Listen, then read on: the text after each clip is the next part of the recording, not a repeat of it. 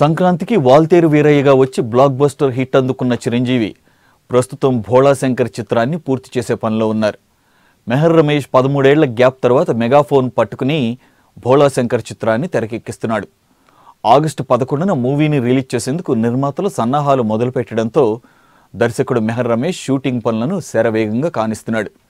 మరో నెల రోజుల పాటు షూటింగ్ చేస్తే కంప్లీట్ అవుతుందంటున్నారు. భోళా శంకర్ షూటింగ్ ఇంకా నెల రోజులు మాత్రమే బ్యాలెన్స్ ఉండగా ఈ చిత్రం గురించి కొన్ని ఇంట్రెస్టింగ్ విషయాలు ప్రచారం జరుగుతున్నాయి. ఇందులో ఐటమ్ సాంగ్ ఉన్నదని కాకపోతే చూడాలని ఉంది చిత్రంలోని రామ్మ చిలకమ్మ సాంగ్ను రీమిక్స్ చేస్తున్నారని టాక్ వినిపిస్తోంది.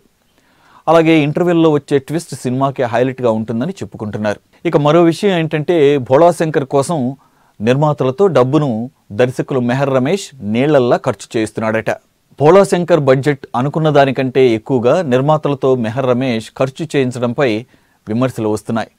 గతంలో బిల్లా శక్తి సినిమాలను తెరకెక్కించే సమయంలో కూడా మెహర్ రమేష్ ఇలానే చేశాడని చెప్పుకుంటున్నారు.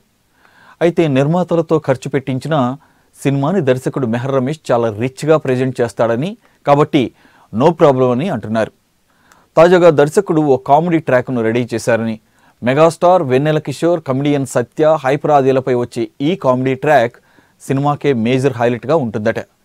మొత్తానికి మెగాస్టార్ సరికొత్త లుక్లో కనిపించడమే కాకుండా ఫుల్ ఎంటర్టైన్మెంట్ పంచడం గ్యారంటీ అన్నమాట.